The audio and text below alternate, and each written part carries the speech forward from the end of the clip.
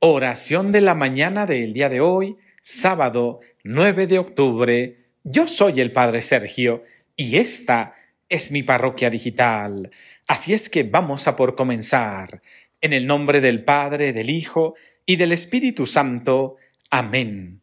Oh Padre Todopoderoso, Rey Celestial, lleno de gloria y de majestad, en este sábado tan bonito, quiero darte gloria y quiero darte las gracias porque estar a tu lado, Rey del cielo y de la tierra, es algo totalmente increíble, lo cual te agradezco con todo mi corazón, con toda mi alma y con todo mi ser.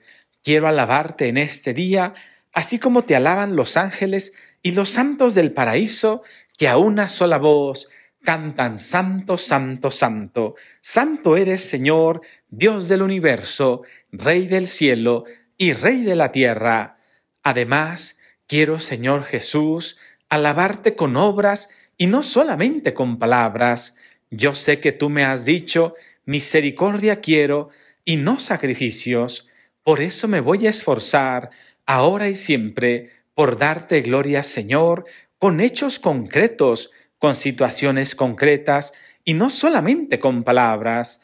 Yo sé, Señor, que me he equivocado tantísimas veces Reconozco que soy un pecador, aunque estoy arrepentido, hay muchos pecados en mi corazón.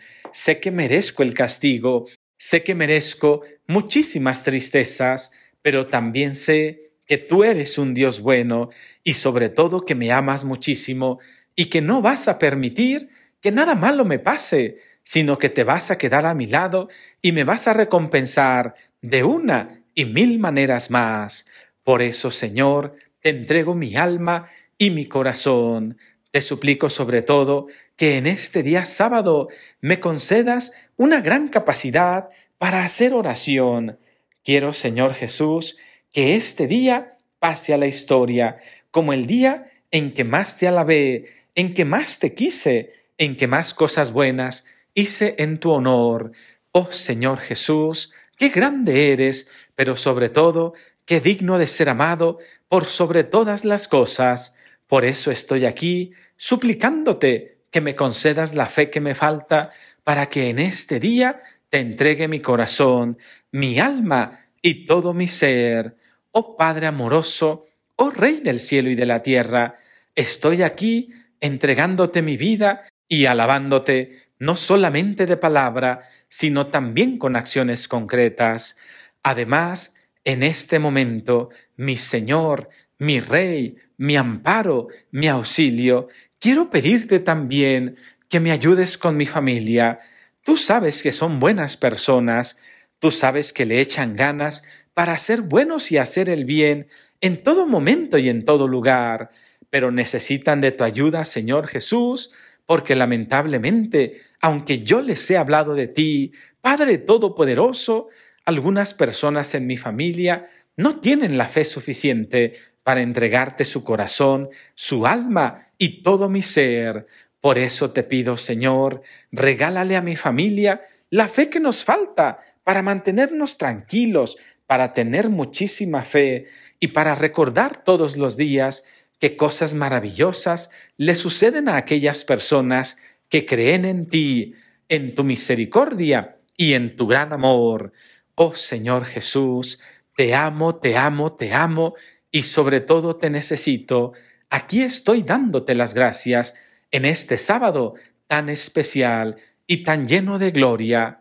Quiero pedirte también de manera muy especial por todos los niños del mundo, en particular por los que no tienen para comer, por los que pasan hambre, por los que están enfermitos o tienen papás que se están peleando. Ayúdale, Señor Jesús, que ningún niño sufra, que todos los niños del mundo mundial estén tranquilos, gozando de una familia duradera, perseverante, de una familia que se ame, de una familia que realmente quieran dar lo mejor de ellos mismos para seguir adelante con ánimo y con reconciliación. Oh Señor Jesús, que todos los niños del mundo mundial tengan un ángel de la guardia en el cielo y otro en la tierra, una persona que se preocupe por ellos, que les enseñe el camino para seguir adelante, que los mande a la escuela, que los alimente y sobre todo que los quiera. Y recuérdanos a todas las personas de este mundo que tú nos has dicho que cualquier cosa que hagamos a uno de los pequeños, nuestro Padre Celestial nos lo tomará en cuenta para bien o para mal, y por lo tanto debemos de esforzarnos por ser personas realmente buenas y realmente amables con los más pequeñines, de tal manera que seamos motivo de alegría y de esperanza para todos ellos, y no motivo de tristeza, sino motivo de júbilo y de gran alegría. Te pido también, Señor Jesús, por todos los jóvenes, mujeres y hombres, para que aprendan a tener a su pareja ideal, para que se preocupen por amar con todo su corazón y sobre todo para que siempre y en todo momento sean personas buenas y puedan de esa manera encontrar a la persona maravillosa que iluminará su vida por toda la eternidad.